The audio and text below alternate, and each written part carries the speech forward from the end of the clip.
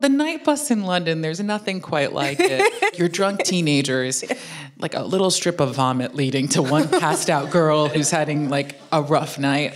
Kids crazy in the back making noise, pumping yeah, rap. yeah. But then also like a lot of people just getting off their shift. Mm-hmm. Like there's always one man speaking very loudly on Skype in Urdu right next to me, FaceTiming.